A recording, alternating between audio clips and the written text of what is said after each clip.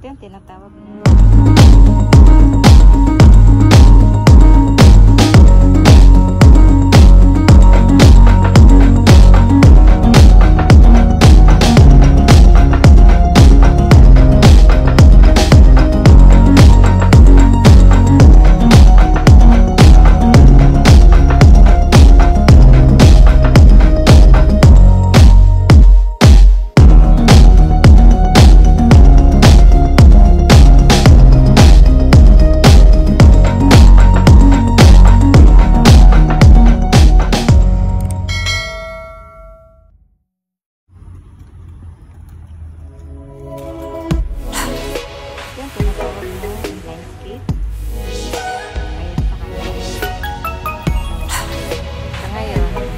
那